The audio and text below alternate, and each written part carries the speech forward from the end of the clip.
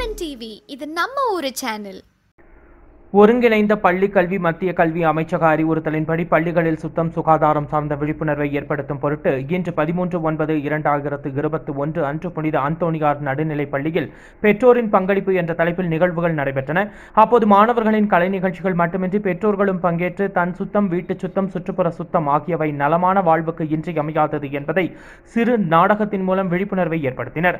நிகழ்வில் பள்ளியின் தலைமை ஆசிரியை சிஸ்டர் மோட்ச அலங்காரமேரி உதவி ஆசிரியர்கள் பெற்றோர் மற்றும் குழந்தைகள் அனைவரும் இணைந்து நம்மையும் சுற்றுப்புறத்தையும் தூய்மையாக வைத்துக் கொள்ள உறுதிமொழி எடுத்துக் கொண்டனர்.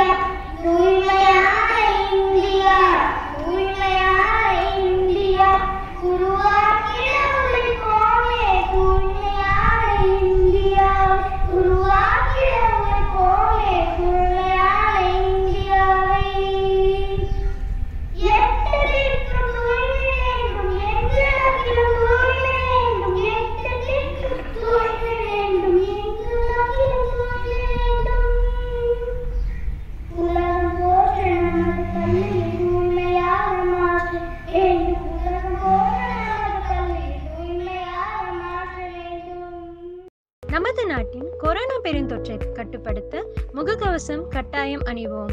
சமூக இடைவெளியை கடைபிடிப்போம். தேவையற்ற பயணங்களை தவிர்ப்போம். இருமும் போதும் தும்பும் போதும் கைக்குட்டைகளை பயன்படுத்துவோம். பொதுநலம் கருதி வெளியிடுவோர் உங்கள் அரமன் தொலைக்காட்சி.